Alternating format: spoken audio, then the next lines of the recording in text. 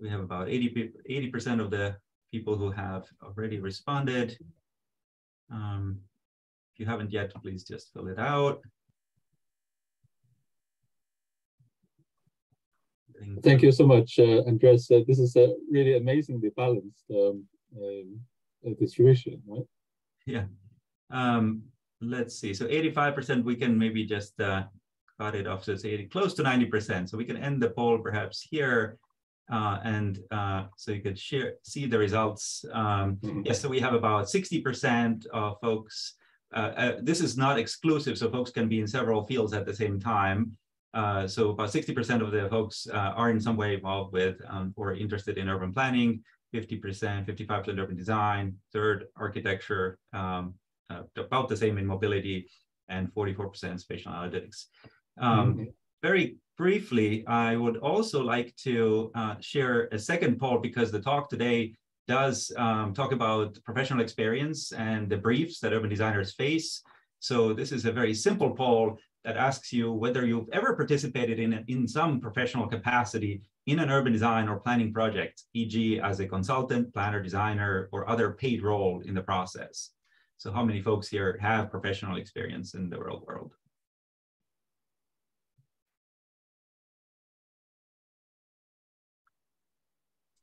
Just another 20 seconds or so. We have about 82% responded. We're seemingly fairly stable at that. Um, another 10 seconds.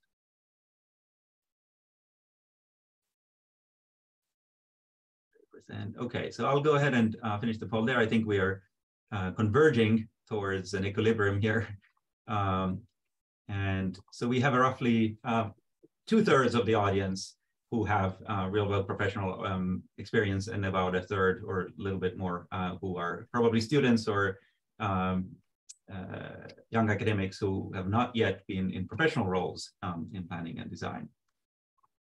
Um, so with that, um, provides a little bit of a um, perspective on, on who we have in the room. I also would like to encourage everyone to type into the chat uh, any questions that you have during the talk. We try to encourage everyone to the extent possible, please keep your cameras on and your audios off so that we have a more interactive session and our speaker today can also see uh, who is in the room, and so it's not a one-way talk.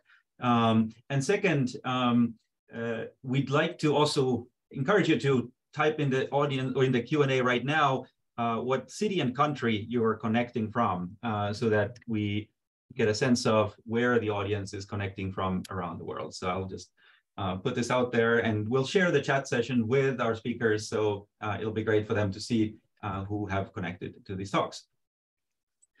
Um, without further ado, um, Professor Ying Jin is a professor of architecture and urbanism at Cambridge University in the UK, where he also served as the director of the Martin Center for Architectural and Urban Studies, of which we actually heard about a little bit during the last talk uh, last Monday.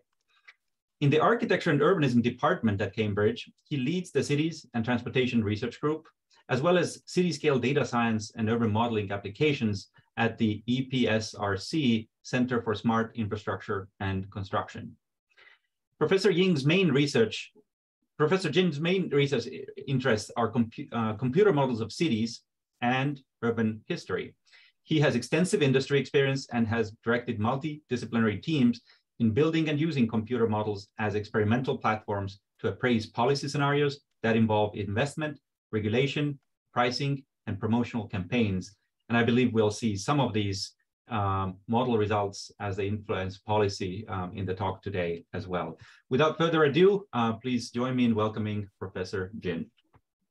I'll stop sharing my screen and you can take over the screen from your side. Uh, thank you so much, um, Andres. Um, I'm just um, trying to share the screen. Um, share. So hopefully this is shared. Um, I'll put it in the presentation mode. Yeah, so that's all okay? Perfect. Yeah. Uh, Andres, you can see it, right?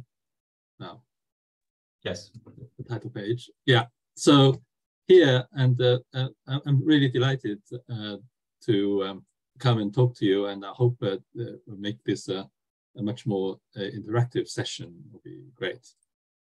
Now, here uh, I wanted to talk uh, to you as people generally working in the built environment with an amazing balanced um, profile of uh, people from the, the main components, uh, why um, you yourselves may have felt so constrained by uh, your project brief and how can that be done to, to liberate us from these. And uh, I'll give uh, an example in the UK and the why UK, and uh, this will come in a minute.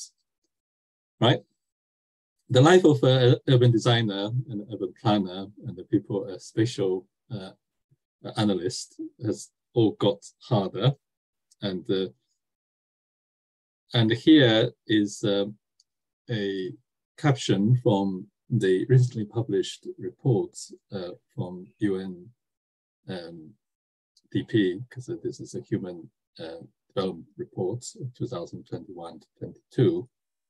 And it showed that um, the, um, the, global human development index um, has just actually deviated from the projected trend since 1990. It's all the way up um, at an amazingly constant rate. And why is that important? Because uh, as uh, the situation in the cities gets um, more difficult and uh, there will be fewer resources, and then, then um, there will actually will be more core for yourselves actually to make an effort. Now, here we're talking about why the uh, urban designers face increasingly more constrained project briefs.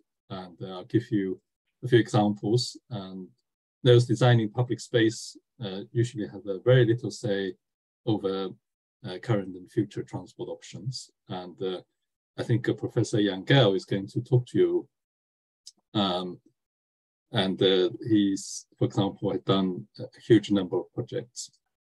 Uh, one of the projects in point here um, uh, is the, um, I think, uh, Times Square um, that he was a consultant. And uh, he uh, uh, faced lots of different constraints, but intelligently he was able to paint the existing tarmac surface of some of the places actually which made the mark and actually change people how I think about it. But the wider Times Square and all those uh, uh, streets in Manhattan are still very stubbornly and uh, being fought over by different people of different requirements. Right?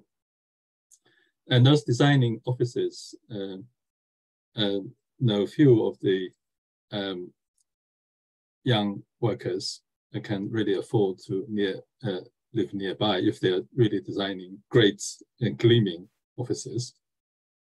But uh, and when they look at their brief, uh, they cannot really include any space uh, uh, about housing actually to accommodate uh, the young workers uh, who are actually in the cities generally getting a very bad deal at the moment. And those designing housing and neighborhoods will have very little say on jobs and travel options. And um, they're told to design neighborhoods and uh, they design it pretending that it's going to be very good jobs nearby and very good travel options. And more than half of the, ca uh, in, in the cases, actually, this will not be true. And therefore, there are lots of these places which are left idle and unpopular uh, and decayed, actually, probably all unbought. The overall result is that the design projects fall far, far, short of their potential. And uh, there are urban designers who would prefer to focus on what they're best at. But most people, I would believe, including people here, would wish to have more of a say of the how city uh, is designed, and the, that covers the whole of the city. Yeah, so one of the important reasons is that uh, the world around us are streaming into, and this is very sad, I'm not condoning this fact, but this is uh, uh, very much the case, into either super prime areas or subprime areas. The super prime are where the best jobs are, and everyone wants to live there, that is finding it affordable, congested, overcrowded, and uh, every inch of land is fought over, just like what I said about uh, Manhattan Island. But this is not just that, but actually many places, many places around you, actually, in the other Cambridge. And this also happens in every city and city region um, in the US, Japan, Germany, China, and you name it, right? And uh, super and subprime areas have uh, many opposites, but they both actually act to restrict uh, urban design options. And for the super prime areas, people generally are very resistant to development. So this could be, could be called NIMBY or variously uh, different things, or just uh, the cost of development will be so high, right? And uh, and uh, the subprime areas uh, are the reverse. People um, actually don't have any interest. They cannot raise money. And the subprime is initially a credit idea that they really cannot really get any credit and therefore uh, financial credit, and therefore they cannot really do anything about it. Why is UK an interesting example? And here uh, I show uh, this uh, data from a, a, Dutch organization which uh, actually has done painstaking efforts to look at um, the per person productivity, that's the output per person over a period since, uh, since 1900. And the UK is this uh, uh, thick black line, which started in 1900, uh, second, right, among these rich countries, which has got a list on the right then um, just below, well, actually quite a distance below Switzerland, but um, actually ahead of the pack for everybody else. And the look at actually where it ended um, in 2014 when uh, this data series actually stretched. Uh, it may have been updated now, so uh, I should have another look. But uh, um, one of the main reasons uh, we found in our research uh, is to do with the losses over many decades of productive regions outside London and the southeast. And uh, for those who don't know uh, Britain that much, because there is an arrow sort of pointing where London is. And uh, well, that region, around, London has got quite a lot of deprivation inside because um, in urban areas you always get uh, quite a lot of that. Uh, but London is a very rich region and uh, all around it, the green and blue areas are the best uh, and more uh, most affluent areas, as you can see. So this is generally called London in the southeast. Um, I don't know whether you can see my cursor. I think uh, I'll show it here. And all the rest, for example, uh, Midlands, uh, Birmingham is here, and Manchester, Liverpool. These are historically uh, hugely productive cities and the Yorkshire, uh, sort of the Leeds, uh, the Pennine corridors, Newcastle upon Tyne, Edinburgh, uh, Glasgow, Belfast, and all these places used to be uh, really very productive and you read them in history books and then look at the, the index of uh, income and job um, deprivation. So they have lost good jobs and they have declined in income and they've been running for decades. So it's been losing the talented people as well. Right? Now, why uh, another reason is that we study the UK because uh, we could uh, treat this as a, one of the largest um, mega city regions uh, in the world. It has a total population of 67 million uh, last year. And uh, one factor which actually could come to an advantage of this area is that it has a, maximum distance between the main cities from London to Aberdeen. And uh, you actually, if you follow the, the Queen and the uh, recent death, because um, these two cities actually see much of the air traffic in the news, is under 640 kilometers, which is basically an hour's journey by a plane. And uh, this will come to be useful. And uh, in Japan, you cannot really cover this distance, um, uh, which is why the, it'll be harder to do it as one city region. Now, my, my main message to you uh, in this talk is that if you don't like to be constrained with your project briefs, uh, either for urban plans, urban design, transport, whatever, you need to reach out to others working on the wider urban systems. What are they? Those are to do with different industries, the production, uh, productive sector in the economy, uh, there's uh, the households, um, actually how they behave themselves, there's a transport market, and there's a estate market for both business floor space and housing. There's also the land, which is under the buildings. And all of that, um, what we have done is to group them together uh, through a structured way uh, of uh, um, um, causal relationships, inputs and outputs uh, they provide each other with.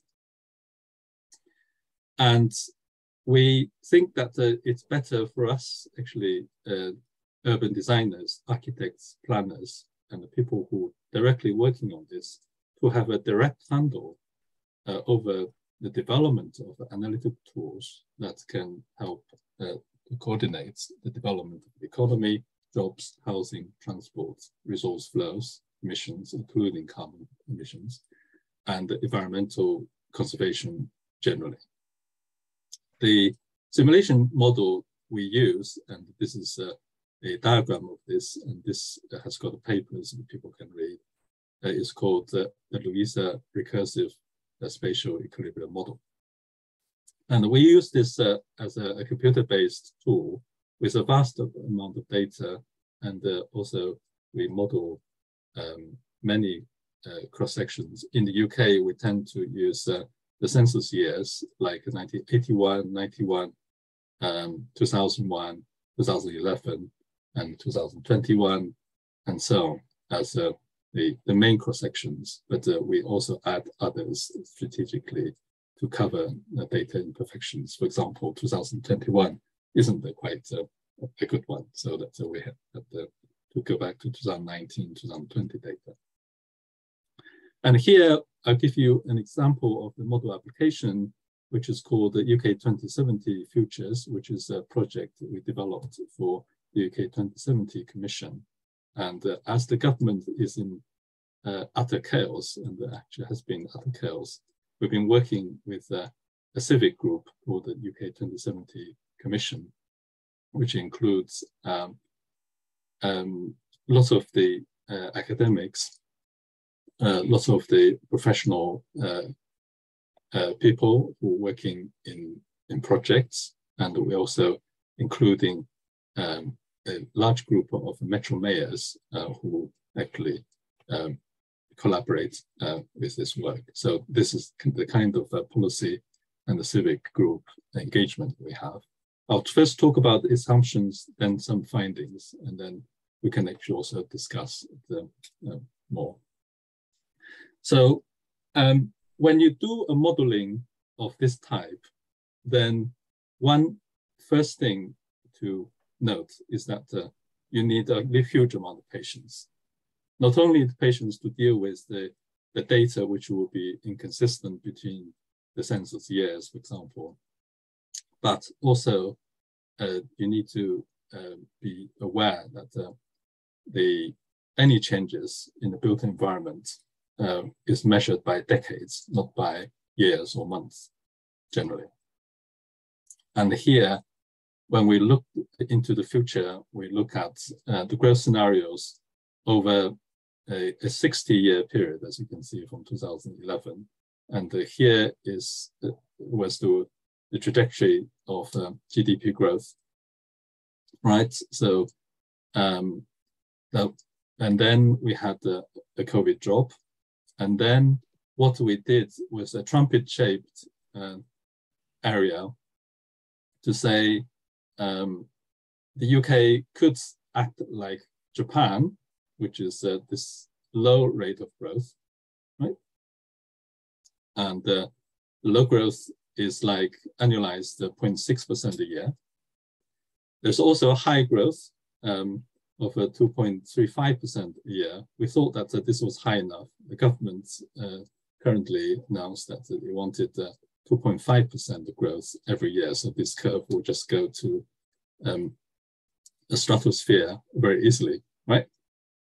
Uh, but post-COVID, we think that uh, it would not be sensible to uh, expect the economy to grow very fast. So in the well next few years, the growth is likely to be anemic, and therefore is more like the, the low growth scenario.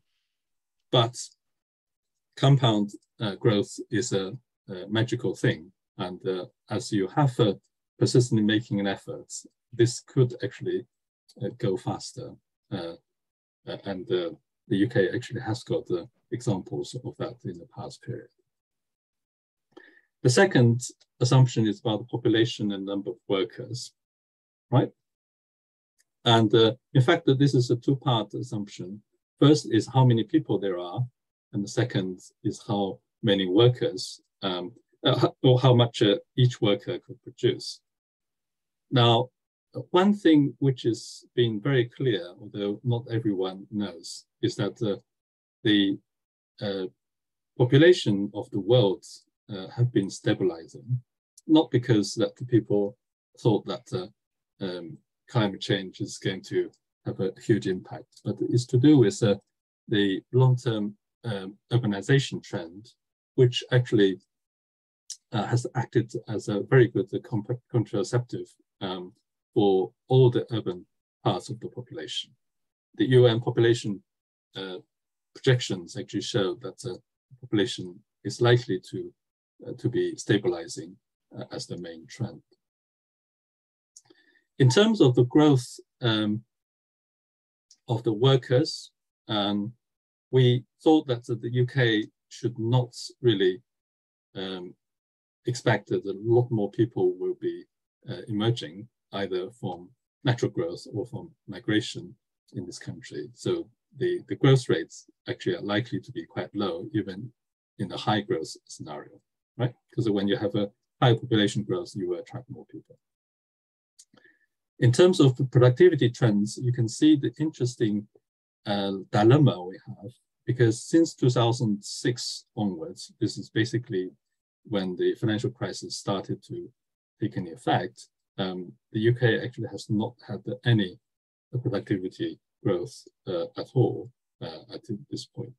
So um, then, and so what we have assumed is that in the low growth scenario is likely to be low and the high growth, because then if you want to have a, a high economic growth and there's not some people to go around, then you have to increase the productivity growth. And how do you uh, really uh, encourage people to be productive? And this is something that an urban planner and designer can make a contribution as I come to in a minute. So here is a summary that you can look at uh, in your leisure. Basically, what we also look at would be these scenarios about uh, dwellings. Um, and uh, we have two scenarios. One is to say um, it's a high growth and a low growth scenario, but they're both actually looking at uh, where uh, the um, more housing could be built. And this is actually the observation in the last uh, few years. And actually, the uh, the darker areas is actually where the housing is being built. Why London has not got a huge amount of building in housing that is very simple because um, once you have a, a, super prime area, then people are resistant. And the, uh, this is uh, one of the amazing regularities uh, planners and designers trying to rail against the shouldn't. And basically, for us, what we look at would be uh, assumptions of low population growth scenarios uh, and the high population growth scenarios. The rates differ, but the areas that can have this kind of growth uh, is more likely to follow what uh, um, we have observed in the last few decades, rather than uh, what um, the government wants, which is really build a lot of housing in London and in the most popular places in the southeast. And this kind of intersections of um, um, overall economic growth and population growth and the geographic uh, spread uh, basically gives you uh, four scenarios. the first scenario is really to say you have um, relatively high growth of um, economy, but the business as usual. Therefore, uh, the imbalanced pattern of growth, the, the, very strong London Southeast versus the weak everywhere else will continue. And then in B, which is basically low growth and business as usual, everyone actually um, better off. Uh, of course, if you look at uh, a different spread of uh, uh attracting jobs and housing to the currently low growth areas, then you have a convergent economy, and therefore in the low growth will be a slow leveling up. So this is likely to be quite anemic, or in a growth scenario, which is what we want, you have a, a dynamic recovery. So this is basically uh, what we're saying.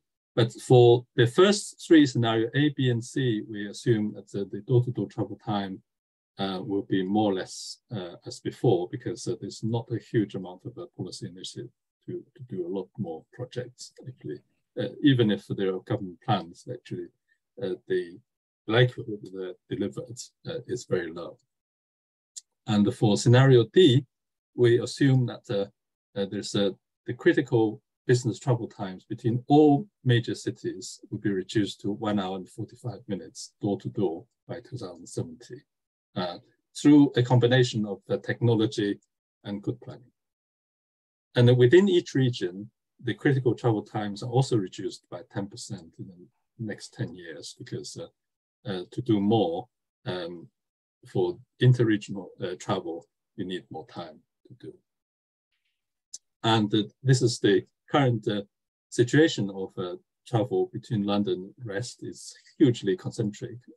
To all of these places, Newcastle, if you really want to go very quickly, you probably have to fly in and fly out, right? And here is um, where you show the distances, um, basically all these regions. Um, so this actually shows the, uh, well, most of northern regions are about four hours door to door to London.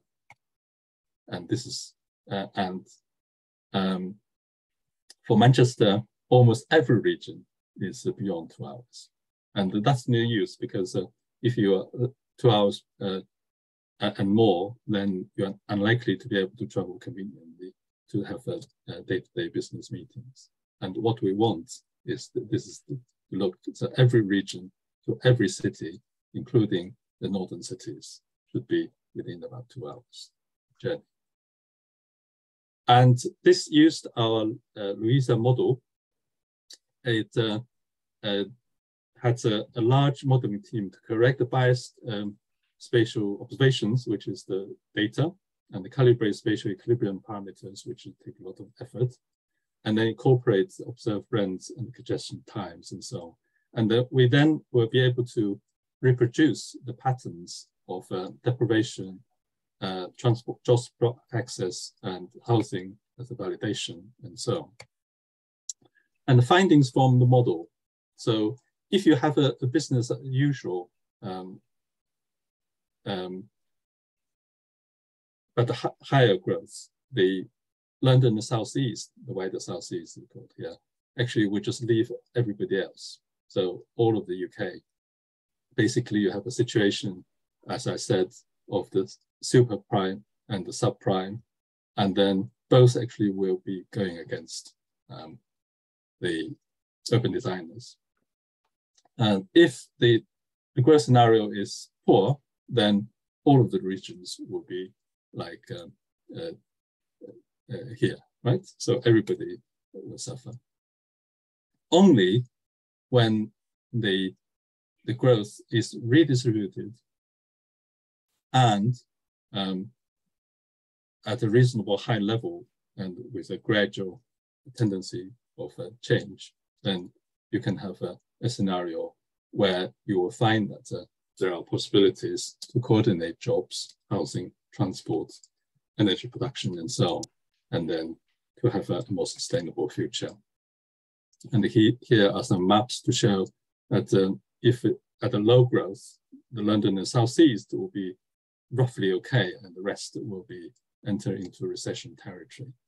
And while in the opposite, in a more uh, ideal situation for us, then because the more economic activities have been redistributed uh, to the rest of the UK, both the UK, uh, the London and Southeast actually have lessened pressure and also increased uh, wealth uh, in the rest of the UK. And one of the key factors in here is to do with the density of the high skilled workers.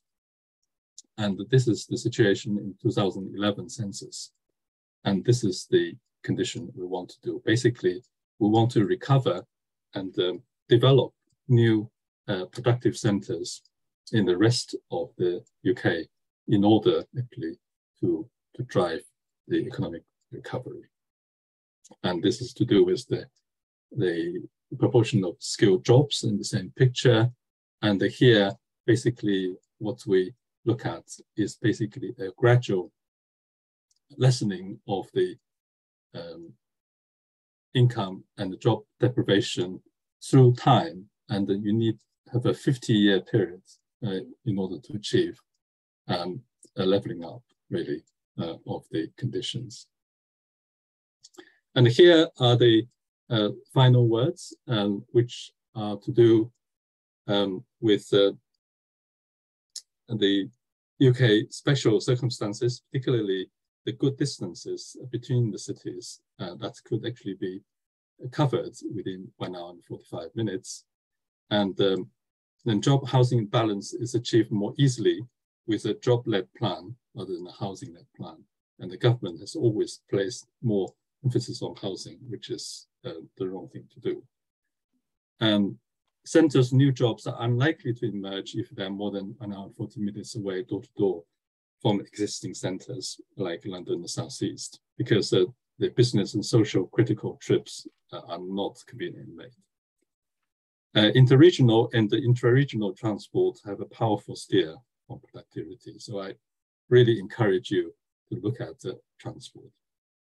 And the final uh, thing is about uh, the equilibrium balances. These are all temporary. They're easily lost and very uh, difficult to regain.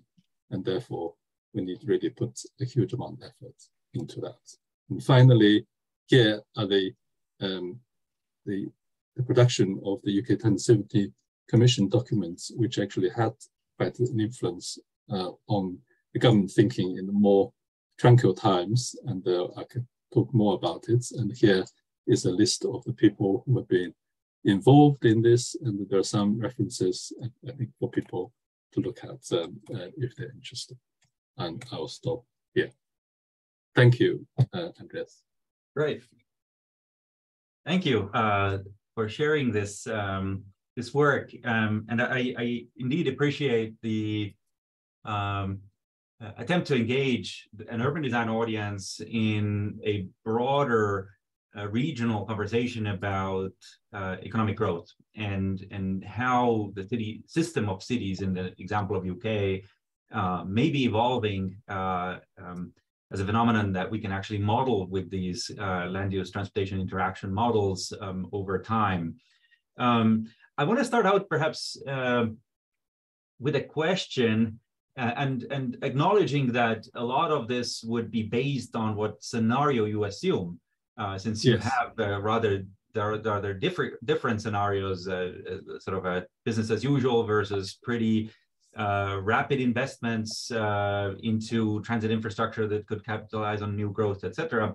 But um, giving, keeping this in mind, what can your 2071 model or 2070 model for the UK uh, tell urban designers and planners about where city growth uh, may be headed to?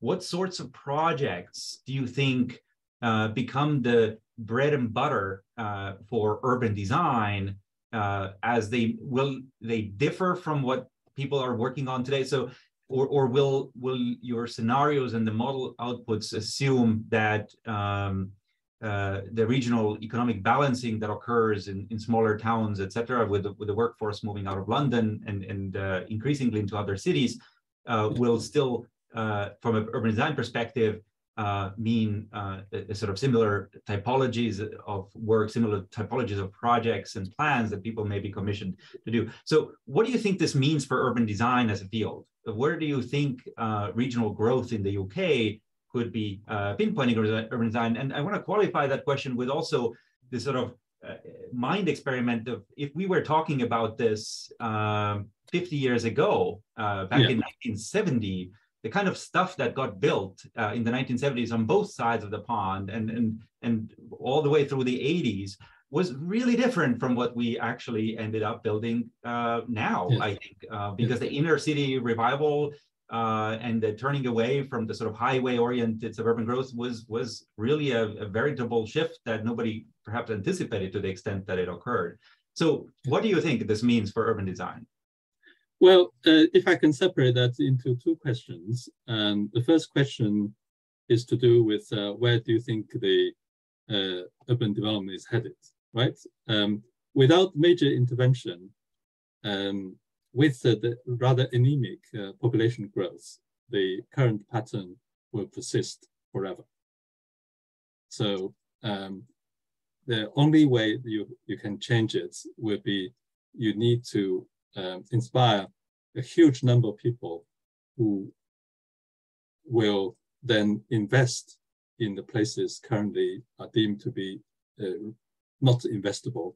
Uh, and then uh, that will pull up uh, housing and therefore build new communities uh, in, in, those areas.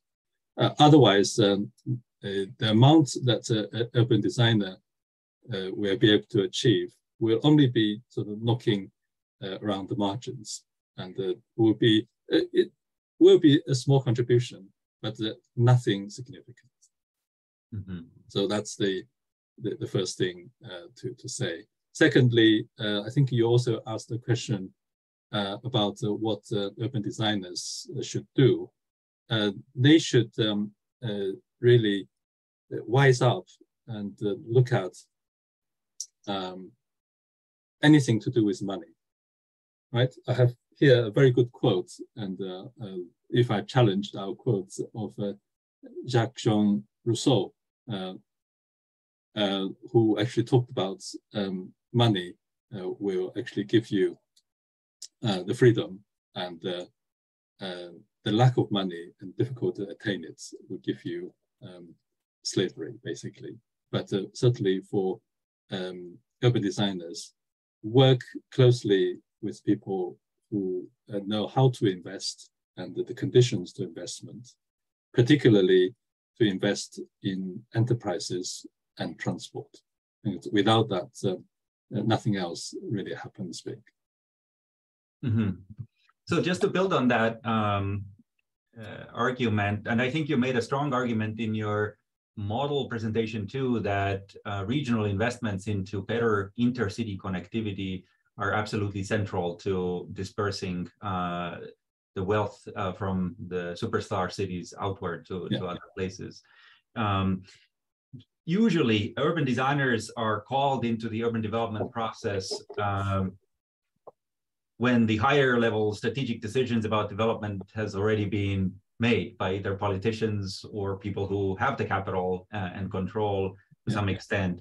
Um, but you're making an argument that urban designers ought to be uh, engaging earlier in the process and through these different disciplines, including transportation. Can you talk us through a little bit what your vision for that is. How would people from urban design backgrounds do that? Uh, who would they be? Uh, should they be collaborating with? And and how um, would such work get started? Uh, generally, urban designers will respond to RFPs that come out from uh, whether private or public uh, sources, and, and they will kind of have a program or, or a brief to kind of follow. But what you're suggesting is quite different. Is not to sort of wait for for that, but rather strategically uh, engage in in proactive ways. And maybe you can describe absolutely. a little bit what you mean by that. Yeah. Uh, absolutely. Now, um, if you engage uh, early, not only um, you get good lunches and with people, um, but also you um, actually know where the investment intentions are. Therefore, uh, for your commercial work, you get actually more projects. Uh, I'll give you one example, which is uh, enormous but uh, also partial success of um, Lord Richard Rogers, who actually in 1998 um, uh, had a group of people around him actually wrote this report of urban renaissance and uh, made a very clear case that uh, um, a Britain was a very small island. We need to actually use land very economically, right? So this actually was accepted. There has been a huge impact on actually where housing actually has been developed uh, in the in the UK uh, since then, and uh, very successful in that regard.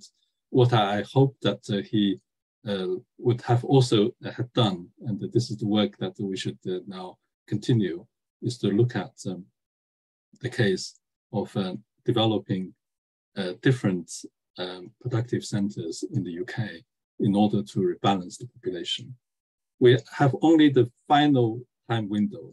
And uh, in my view, uh, the population in the UK will become um, static, absolute static, with a growth uh, rate of zero or so by 2050. And once that happens, uh, it will be absolutely impossible uh, to engender big change. And uh, so the existing build pattern will persist. So I suspect, for centuries. Mm -hmm. Thank you. And th this will also uh, apply to places like um, uh, many parts of the United States. And I, yeah. I think I have also have uh, uh colleagues actually from other countries actually here. I think uh, across the developed world, will that be the case. Yes, in, indeed. I think in the U.S., uh, the conversation very much similar worries about economic growth have have uh, been perhaps somewhat tempered by the fact that US has remained still a big destination for immigrants and yeah. uh, human the growth in human numbers uh, has has perhaps tempered uh, the the slowdown of uh, economic productivity with some extent whereas Britain's choices have been somewhat different in the last um, few years with Brexit etc uh, I, I want to open this up and engage questions or comments from from the room. Um, I think the chat's been relatively quiet, um, but um, let's open it up and see whether um, we have thoughts, uh, questions that anybody would like to um, chime in on. You may want to just raise your hand if you do, or or also start with. Uh, uh, so Ariana. maybe I can I can kick us off uh, with a question while more people get excited and and put them theirs in the in the chat. Uh, so thank you for Professor Ying for the presentation. Um, I'm curious if you can speak a little bit more about the loss of productive regions in the peripheries, right? Which is what you documented uh, in your presentation. I'm, I'm just wondering if you can also comment on its drivers. And I'm wondering whether this is a case of uh, certain types of jobs being replaced by others, where it's sort of a skills and retraining pro uh, problem, or whether this is a case of just jobs relocating to city centers, right, and agglomerating in city centers. And why I think, I guess, like that's interesting is because it connects to sort of the the bigger question about what's like the optimal city size, or whether it's better to have like one mega city or like a couple of them versus having like a bunch of smaller uh, cities. And I was wondering, what's your take on that? Thank you. Um, yeah, um, well, in terms of the loss of these centers, basically, um, someone actually in the policymaking uh, arena was uh, sleeping at the wheel. Um, uh, as I said, uh, this kind of balance um, between jobs and housing and skills and the wider urban environment is very delicate. And uh, if you look throughout urban history, you have uh, cities that a canal is silted and therefore uh, ships no longer come, and therefore uh, the trade declined and people dispersed. And the the most talented will jump ship first. And uh, if you look at Belgian cities, there are many of those uh, medieval cities uh, like that. And Venice was uh, affected by the rate trade rule change, and therefore trade no longer would absolutely need to go through there. And uh, in in Britain, is really to do with um, uh, in structural industrial change. And uh, for a good city, um, while uh, a trade is flourishing, and then the general skills, um, either to do with technology or management, uh, should be used to develop the new trades. And this could happen naturally if you maintain really good transport links to other uh, productive centers.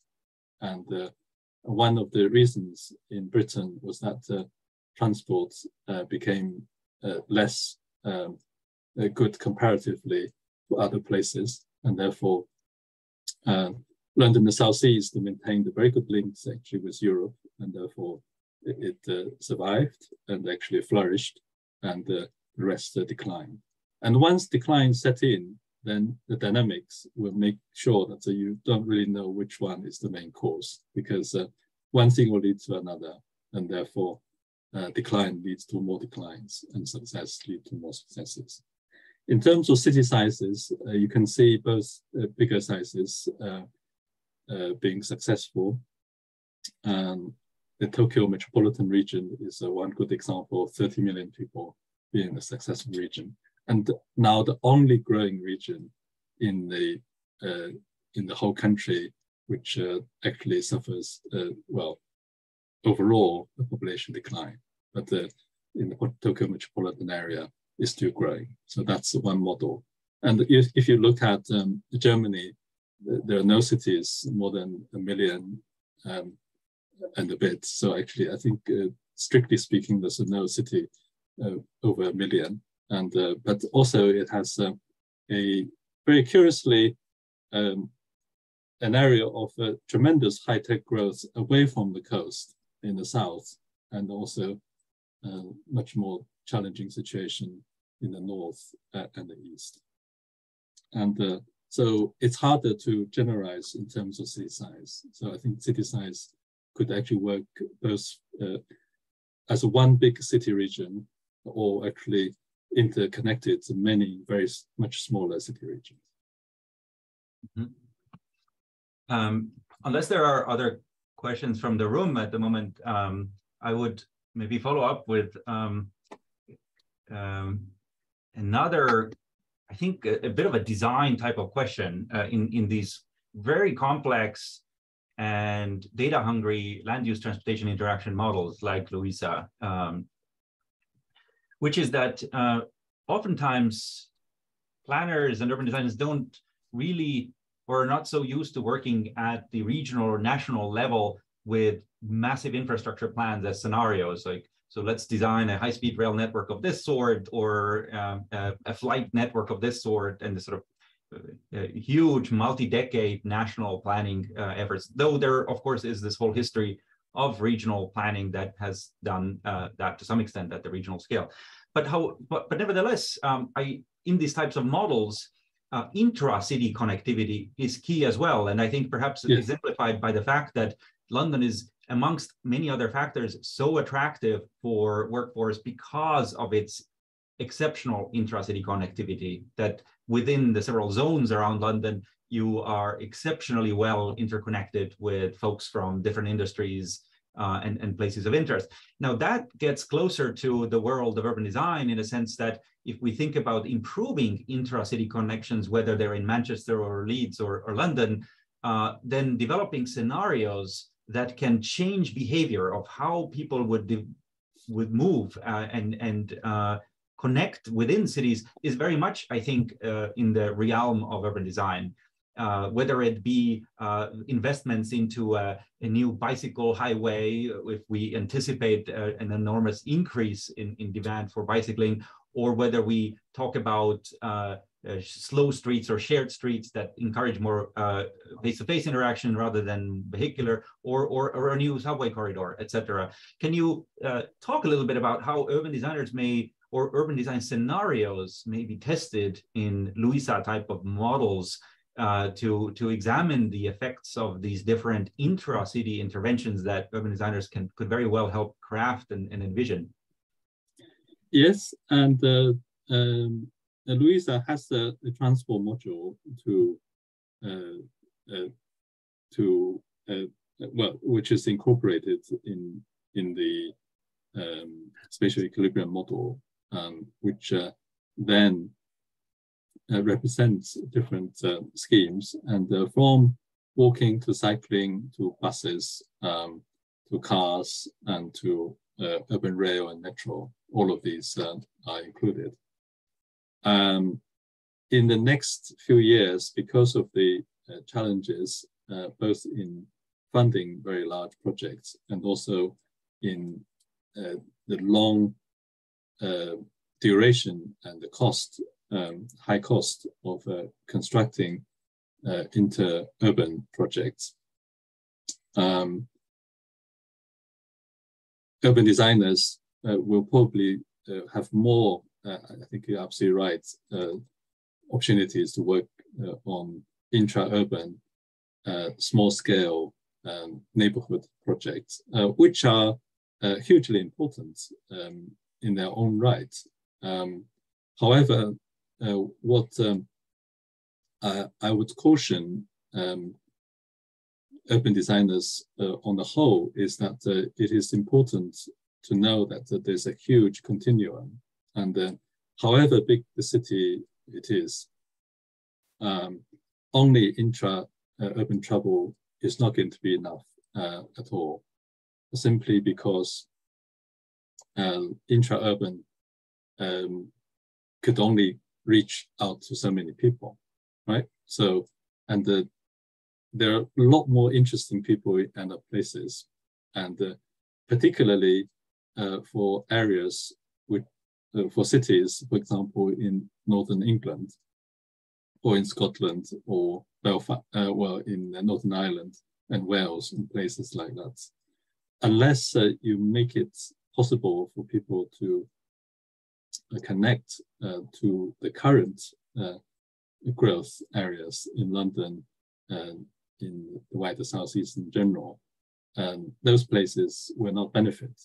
So uh, unless they benefit from this, uh, what will happen is that the families will think uh, if you have a, a, bright child, you would actually just get them to go to London the Southeast. And this actually has been the, the dynamics um, in the last um, uh, two or three decades. So um, absolutely uh, important to improve intra-urban, but uh, only intra-urban will not be enough. Great. Thanks, Professor Ying. We have a couple of questions in the chat related yes. to environmental con considerations. So wondering yes. whether you've also incorporated that in, in your models. Yes, that's right. And uh, also, uh, these are recursive. And uh, so basically, um, uh, over time, uh, more and more stringent um, environmental concerns can be incorporated into that. And uh, so, and also, um, when I say that I want the transport to go fast rather than just go walking, um, I certainly am aware of these challenges. However, um, what uh, is happening in technology is that um, you can now actually power these uh, um, uh, faster transports um, with uh, sustainable energy. Um, there, there, are many different options uh, here, and I think you covered some of these uh, in your early talks, and which is important.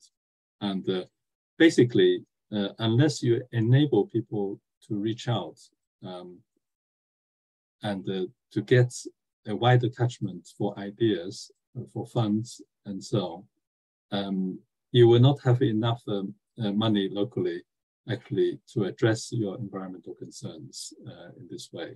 So this is going to be quite a, a hard battle. And within that, of course, everyone should uh, play um, their own role to be uh, environmentally uh, uh, responsible. So for example, I uh, drive relatively little uh, of car. So each time I, I do something, I look at the benefit and cost and make sure that uh, the, the, the, benefit, including the uh, environmental benefit, um, will far outweigh the costs. Thank you. Maybe in the last couple of minutes, because we're running out of time, I was wondering whether yeah. you could comment on uh, the transportation interconnectivity point that you were talking about. Specifically, there's one question about the HS2, which is the high speed yes. train, um, mm -hmm. and how you see that sort of affecting uh, the, the growth um, of the economy in the long term. Yes, it's a long term. And uh, the HS2 uh, has got uh, this uh, dilemma, which I think um, in most OECD countries, people have got. Um, basically, the biggest push of an infrastructure building uh, in a kind of a chaotic situation like Victorian Britain, uh, that has long passed.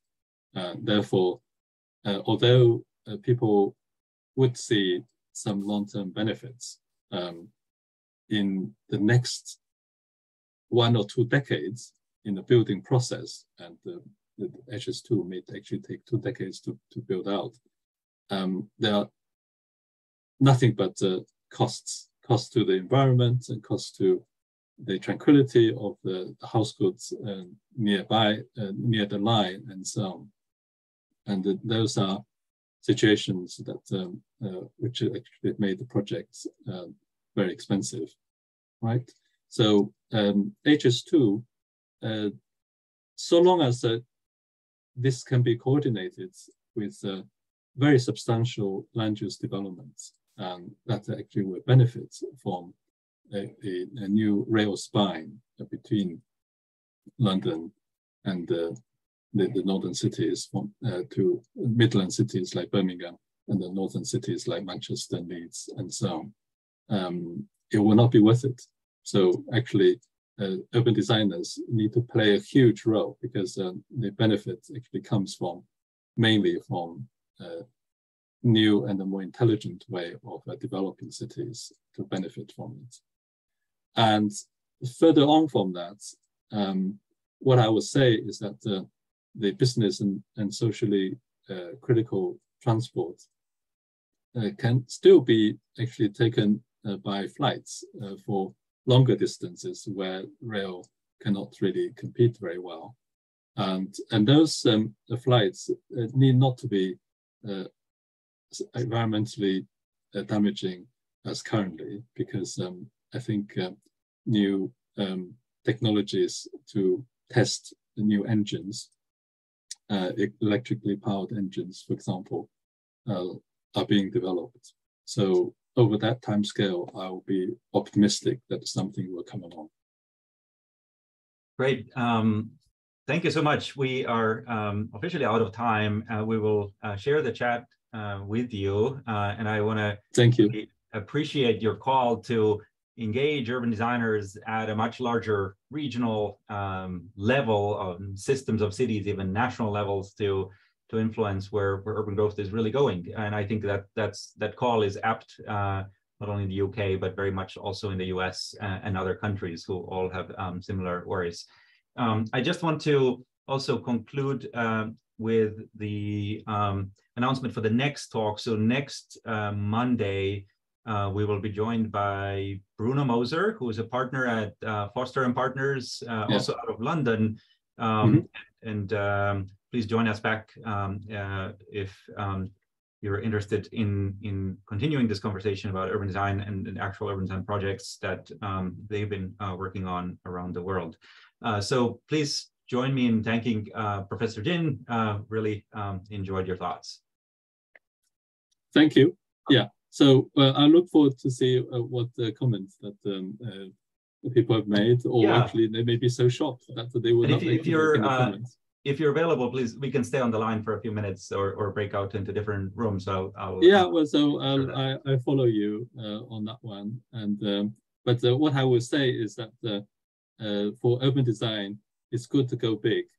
Um, so, well, your neighborhood projects will make an impact, but uh, um, given that uh, you are in one of the um, uh, best universities in the world, you should actually try to make that impact uh, uh, benefit um, a much larger group of people. Great, thank you so much. Um, I will set up a quick uh,